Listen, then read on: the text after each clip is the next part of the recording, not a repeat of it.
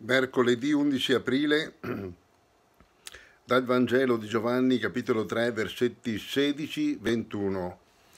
In quel tempo Gesù disse a Nicodemo, Dio ha tanto amato il mondo da dare il figlio unigenito, perché chiunque crede in lui non vada perduto, ma abbia la vita eterna.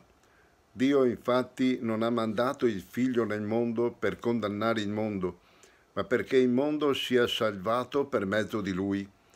Chi crede in lui non è condannato, ma chi non crede è già stato condannato, perché non ha creduto nel nome dell'unigenito figlio di Dio.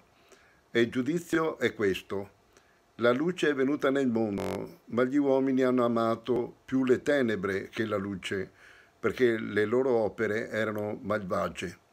Chiunque infatti fa il male odia la luce e non viene alla luce perché le sue opere non vengano riprovate Invece chi fa la verità viene verso la luce, perché appaia chiaramente che le sue opere sono state fatte in Dio. Cari amici, continua la lettura del capitolo 3 di Giovanni. Ieri abbiamo meditato i versetti da 7 a 15, oggi proseguiamo con i versetti da 16 a 21. Cosa sottolineare in questa parte del discorso di Gesù a Nicodemo? La missione di Gesù è una missione d'amore e di salvezza. Dio ha tanto amato il mondo da mandare il suo figlio unigenito. È Gesù stesso che ci rivela le intenzioni del Padre suo.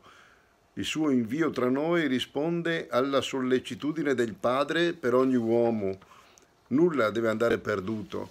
Ognuno di noi è chiamato alla vita eterna. La misericordia di Dio è senza limiti. Non ha mandato il figlio a condannare, ma a salvare. Purtroppo l'uomo frappone degli ostacoli. Il più grande, quello che annulla la volontà salvifica di Dio e il sacrificio di Gesù sulla croce, è l'incredulità. Chi non crede si autoesclude dalla salvezza. Dio si arrende di fronte al libero arbitrio. L'uomo è un essere libero e può scegliere le tenebre anziché la luce.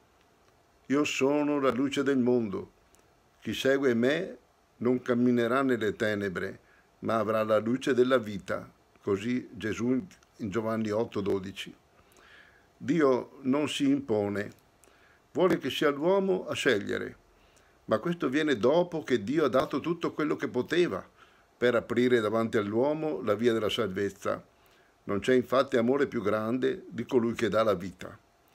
Gesù, nel colloquio con Nicodemo, prende atto che gli uomini hanno amato più le tenebre che la luce, perché le loro opere erano malvagie. Ma chi fa la verità viene verso la luce, perché appaia chiaramente che le sue opere sono state fatte in Dio. Cari amici, andiamo verso la luce, andiamo verso Gesù. Buona giornata nel Signore.